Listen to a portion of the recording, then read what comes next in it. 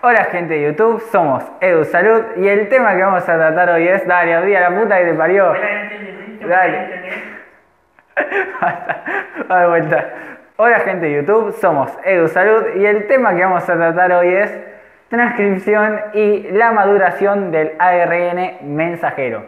Es un tema que lo pidieron mucho, así que por eso vamos a hacerlo. Y además que se corresponde con genética. Si tengo coloradito ahí, es un, no sé si es conjuntivitis, un orzuelo, deduzco los test, total, para algo están estudiando medicina la mayoría, así que nada. Bueno, vamos a empezar por definir qué es la transcripción. La transcripción es un proceso en el que se toma a una molécula de ADN molde, siempre se toma la hebra que va de 3' a 5' y se copian sus nucleótidos formándonos a la par una, una molécula de ARN mensajero, que en realidad se conoce como transcripto primario. Después vamos a ver bien por qué es el transcripto primario. Eh, esta transcripción va a ser llevada a cabo por una enzima que se llama ARN polimerasa, también conocida como RNA polimerasa. ¿Qué es lo que hace esta enzima? Se posiciona al lado de la cadena de ADN, esta que va de 3' a 5', y va copiando los nucleótidos con sus bases complementarias. Importantísimo recalcar que esto ocurre eh, únicamente en la porción del ADN que contiene los genes. Esa es la única porción que se transcribe. Por eso los genes son la porción transcripcionalmente activa, porque es donde va a ocurrir este proceso, la transcripción. Eh, ahora les voy a mostrar bien cómo es el tema de la transcripción, pero antes es importante recalcar que esto de la transcripción responde a lo que es el dogma central de la biología molecular, celular y molecular, que ahora se los voy a mostrar en imagen. Bien, lo que estamos viendo en imagen en este preciso momento es el dogma central de la biología celular y molecular. Fíjense que lo que nosotros vamos a estar tratando en este hoy es esto que les estoy señalando en un recuadro, hasta ARN, la traducción en una proteína la vamos a ver después. ¿Qué nos dice este dogma? Nos dice que el ADN va a transcribirse en un ARN que se va a traducir en una proteína. Es lo que estamos viendo acá en imagen. Eh, bueno, en otra imagen ahora vamos a ver bien cómo es el tema de la transcripción. Lo que estamos viendo acá es cómo se da la transcripción. Fíjense esta imagen.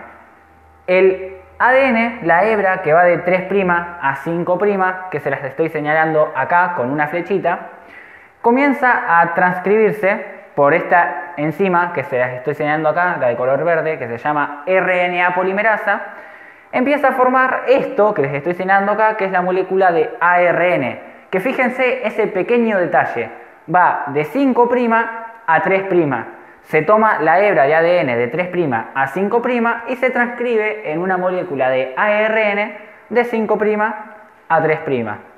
¿Cómo ocurre? Bueno, acá lo estamos viendo. Ven, por ejemplo, acá hay una adenina, se estoy marcando una adenina unida a un uracilo. La adenina esa, que corresponde a la hebra de ADN, va a terminar formando una unión con una base complementaria que es uracilo. La timina se une con adenina, la adenina con uracilo. ¿Ven? Se está viendo acá. Adenina, el ADN, uracilo, el ARN. Timina, el ADN, adenina, el ARN. ¿Por qué? Porque son las bases complementarias.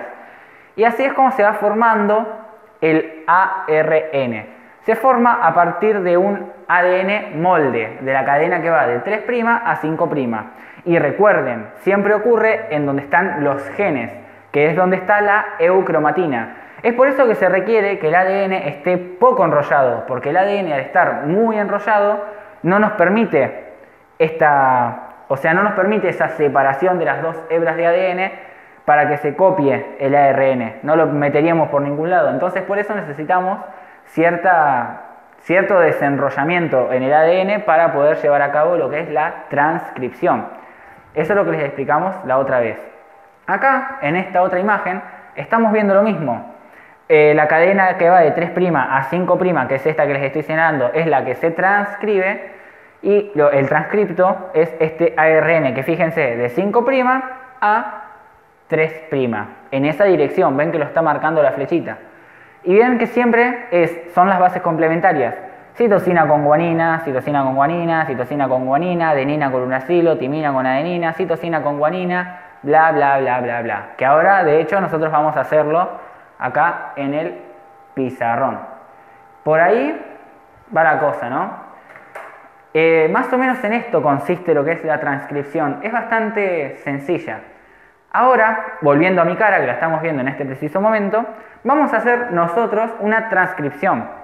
Acá tenemos un ejemplo de una cadena que va de 3' a 5'. Este sería el ADN molde. Vamos a ponerle acá. ADN molde. O ADN vamos a ponerle. La cadena de ARN va a transcribirse de 5' a 3'. Y lo va a hacer de la siguiente manera.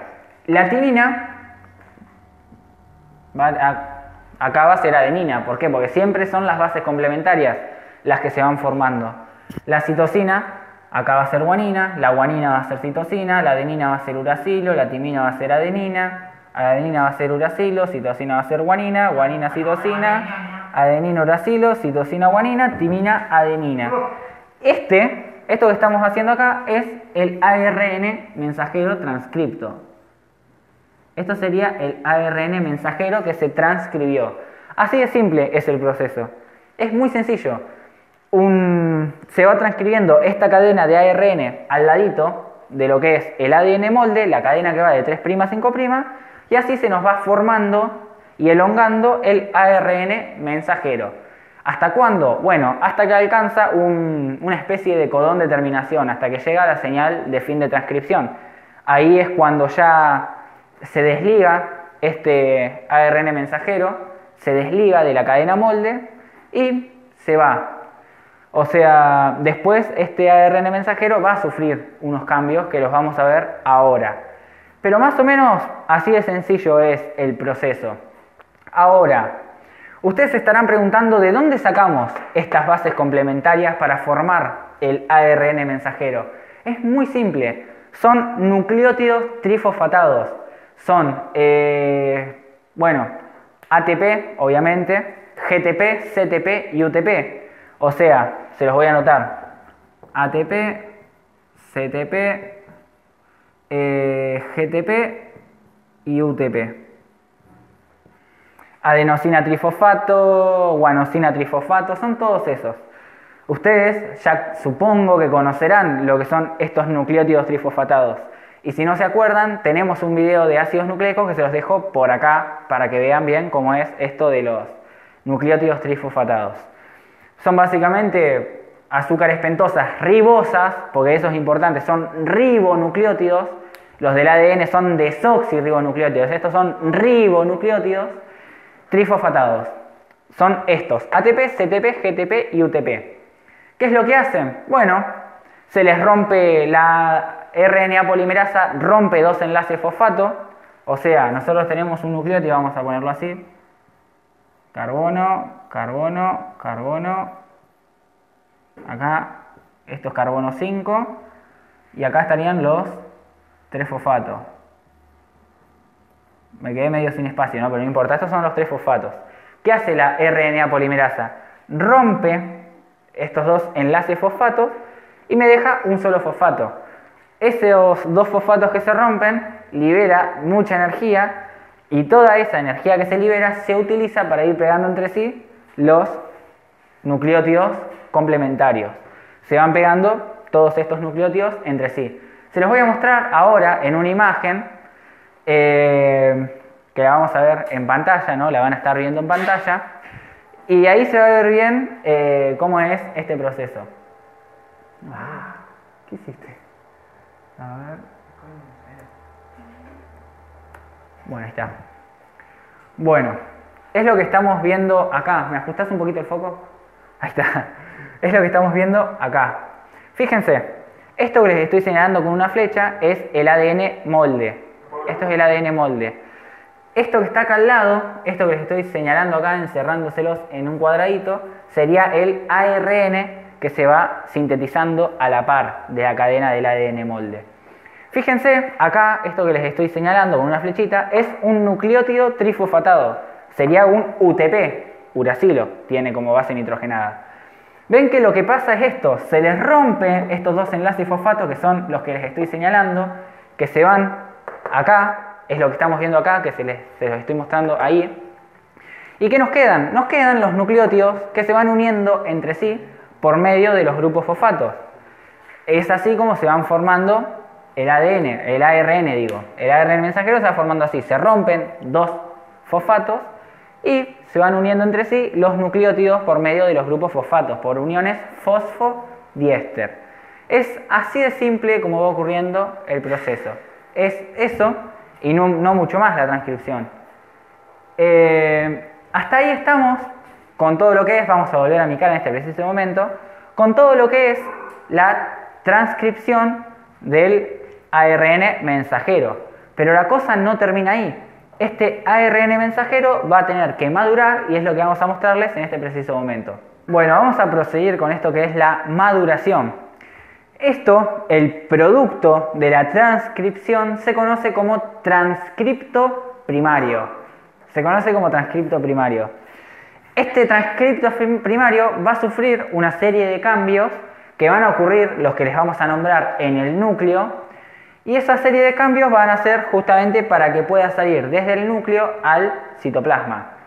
Ahora los vamos a ver bien, paso por paso. El primer proceso que va a ocurrir con este transcripto primario es este, el cap, que se llama capping. capping. Viene de capuchón.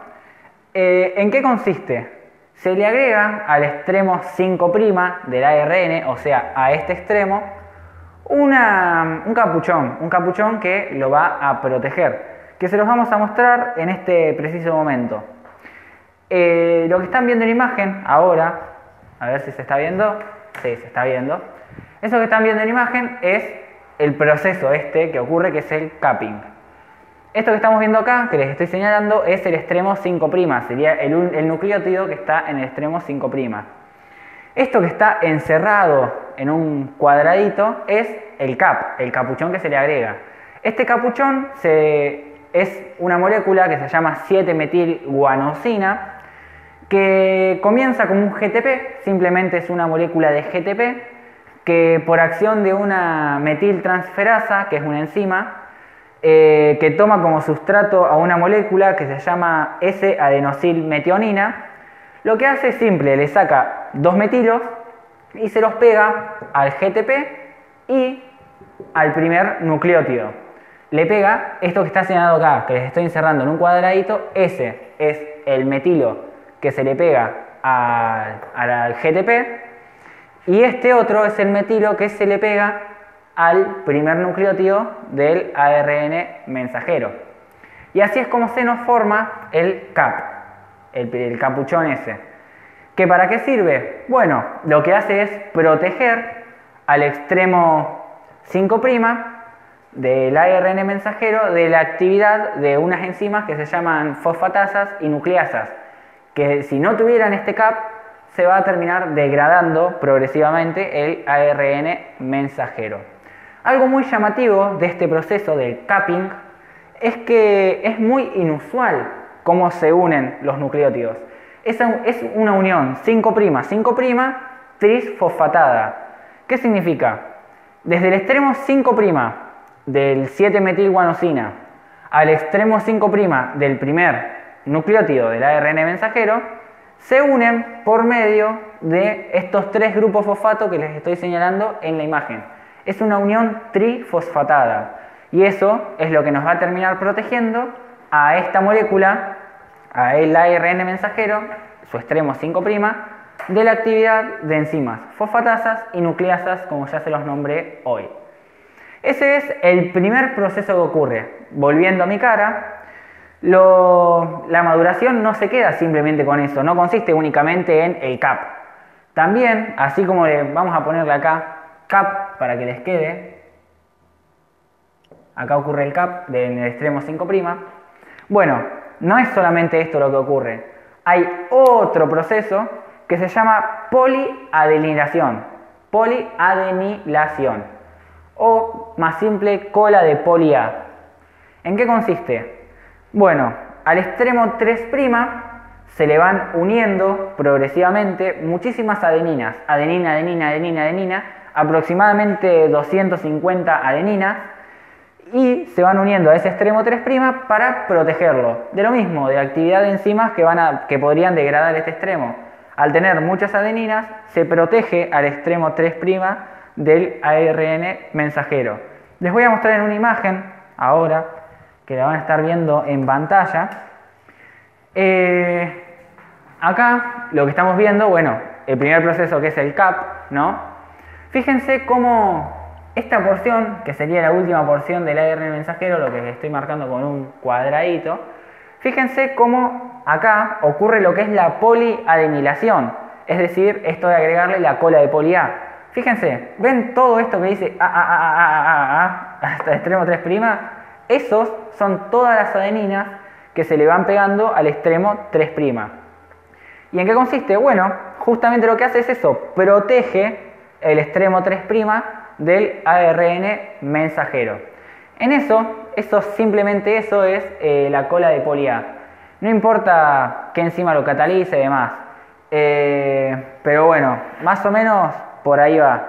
Si quieren saberlo, por curiosidad nomás, qué enzima es la que lo hace, es una enzima que se denomina polia polimerasa. Se los escribo en la pizarrón. A ver, esperen. Vamos a cerrar la tapita del proyector para que no moleste y vamos a volver a mi cara. Ahí está. Ahora están viendo mi cara. Se llama así, polia polimerasa. Esa es la enzima que va agregando al extremo 3' del ARN mensajero, le va agregando todas las adeninas, poli A. Bueno, entonces ya tenemos los dos extremos de la molécula de ARN mensajero protegidas. Pero hay un último proceso que ocurre en lo que es la maduración de este ARN mensajero, que se llama splicing, splicing, que en español significa corte y empalme. Es un proceso muy sencillo, relativamente sencillo, que consiste en agarrar a la molécula de ARN mensajero y removerle los intrones y ensamblar entre sí los exones. Vamos a ver que esta, este ARN mensajero, este transcripto primario, va a tener intrones y exones. Los intrones son secuencias repetitivas que no transcriben, o sea, no sirven para nada, son inútiles y no son funcionales en lo que, es en lo que va a ser la traducción de ese ARN mensajero. Entonces el cuerpo, la naturaleza, como es muy sabia, dice, bueno, tenemos algo inútil, vamos a sacarlo. Esos son los intrones. Se sacan los intrones y los exones, que son las secuencias útiles que sí van a servir para traducirse en una proteína, se ensamblan entre sí. Miren, ahora les vamos a poner en imagen, eh, en pantalla digo una imagen de lo que es este proceso, el splicing. Lo estamos viendo acá, fíjense. Acá tenemos una molécula de ADN. Fíjense, exon 1, intron 1, exon 2, intron 2, exon 3. Bueno, fíjense qué simple que es lo que, lo que se hace. Fíjense que el transcripto primario se le sacan los intrones, intron 1, intron 2, y fíjense que lo único que queda son unidos los exones. Los intrones se eliminan, se degradan y los exones quedan pegados entre sí. Es por eso que se llama corte y empalme, porque cortamos los intrones y empalmamos entre sí los exones, que son los que después se van a traducir, vean que dice acá traducción, en una proteína. A su vez, a este proceso, al splicing, hay algo muy relevante que se denomina splicing alternativo. Y es muy importante saber esto del splicing alternativo. Vamos a volver a mi cara en este momento. Estoy que voy y vengo con el proyector que lo tengo que sacar y cerrar, disculpen. Eh, bueno, eh, el splicing alternativo es importantísimo. ¿Por qué? Porque desde un mismo transcripto primario se nos pueden originar múltiples proteínas para un mismo transcripto primario. ¿Y de qué depende esto? de que el empalme es al azar. O sea, no es que siempre se nos va a cortar exon 1, exon 2, exon 3 y se nos une 1, 2, 3. O que siempre nos van a quedar todos los exones. No. Ahí está el azar, ahí está la genética misma, lo interesante. Y esto es, tiene mucho que ver con lo que es la evolución, las ventajas adaptativas. El azar para la síntesis de las proteínas, las mutaciones, mucho tiene su argumento acá, en el splicing. El splicing alternativo es simplemente eso, a partir de un transcripto primario podemos generar múltiples proteínas. Por ejemplo, vamos a dibujárselos. Yo tengo exon 1, vamos a ponerle exon 1, acá vamos a ponerle 1, exon 2 y exon 3. Miren, podría pasar, por ejemplo, de que se me una en este orden, exon 1, 2 y 3, como puede pasar que se me una el exon 1 con el exon 3 y el exon 3 con el exon 2, o directamente puede pasar de que se saque el exon 2 y me queden únicamente eh, el exon 1 y el exon 3 unidos entre sí. Y esto es lo que nos va a terminar determinando que los genes, que, eso, que ese ARN mensajero lleve una secuencia para traducirse en diferentes proteínas. No siempre a partir de un transcripto primario se van a formar las mismas proteínas. ¿Por qué? Por esto, por el splicing alternativo, que es el corte y el empalme de muchas formas. Nos pueden quedar más o menos exones, los exones nos pueden quedar unidos en distinto orden, y es por eso que se nos pueden formar múltiples proteínas. ¿Y esto es importante saberlo? Sí, importantísimo. Porque acá está el argumento de muchas patologías, como por ejemplo, no sé, un síndrome de Addison, que el transcripto primario de, que se llama propio melanocortina nos puede formar, por ejemplo, melanina, beta-endorfinas, como proteínas, ¿no? La proteína de melanina, la proteína de beta-endorfinas, y si mal no recuerdo, adenocorticotropina, adrenocorticotropina, o sea, ACTH, que va a estimular la liberación de cortisol, bla, bla, bla, bla, bla. ¿Qué pasa? En esa enfermedad, en lo que es la corteza, la corteza de la médula suprarrenal, eh, puede tener una enfermedad autoinmune que la esté destrozando. Hay pocos niveles de cortisol o de, mineralocorticoides, como por ejemplo aldosterona. Y bueno, constantemente se está liberando desde la hipófisis, se quiere liberar mucho ACTH, pero ¿qué pasa? No alcanza a ocurrir con efectividad este proceso, el splicing, entonces, a partir de la propia melanocortina, en lugar de liberarse únicamente ACTH, se libera eh, melanina y beta-endorfinas. Entonces, a la paciente la vemos que no solamente tiene los problemas del déficit de cortisol, sino que también está cansada por las beta-endorfinas, se broncea por lo que es eh, la melanina. ¿Y todo por qué? Por este proceso, por el splicing alternativo. No tiene que saber patología todavía, pero es un ejemplo para que vayan viendo la importancia, la relevancia clínica que tiene conocer esto del splicing. Bueno, hasta acá estamos con todo lo que es la transcripción y la maduración.